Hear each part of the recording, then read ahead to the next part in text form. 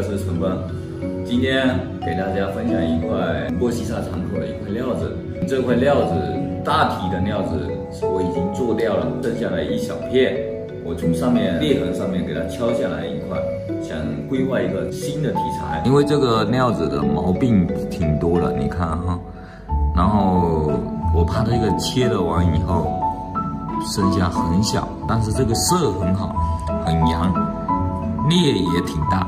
然后这一边，我想用色的地方给它做一只猴子，然后这里给它做一个树枝过来，下面呢想做一只猴子的手下来捞月亮，把这个下面做成水潭一样捞月亮。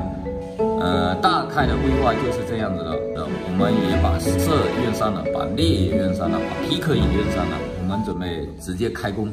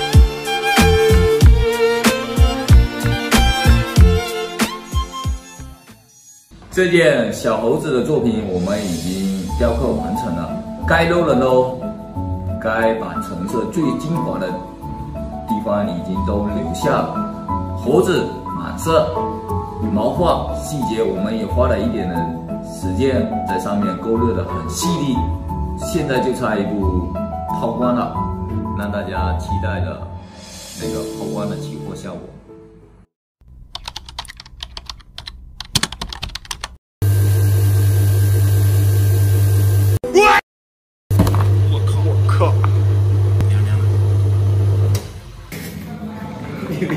看我的，我操！我靠，这机器不断啊！那个小猴子这件哈，刚开始抛光的时候，抛光是里面它内层呢有一条裂，不小心把这个变成这样两件货了，可能是当时我们做过的时候把它捞捞的太薄了，然后后面的原皮我们没有很容易看到那里面有一个暗裂。然后这边计划拿去修改一下。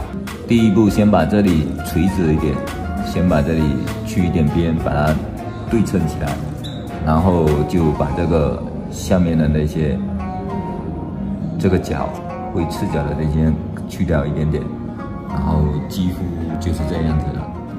Two thousand years later，小猴子这件作品花花已经完成了。真是九九八十一啦！不幸中的万幸，这件满色的那个猴子满色的保留了下来。经过我们修改后，整体的效果不影响，还是能出彩的作品，还算是比较满意。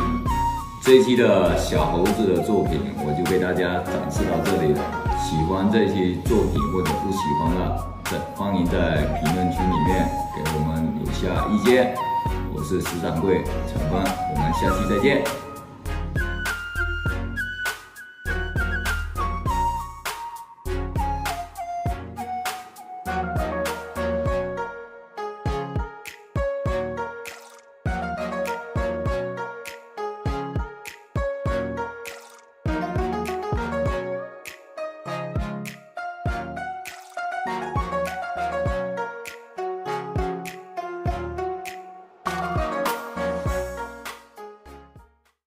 哎呀，一个难得去评奖的雕刻师而已了。记得关注我哦。